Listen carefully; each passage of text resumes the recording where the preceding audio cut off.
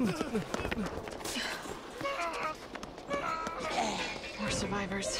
We've got to get that train moving.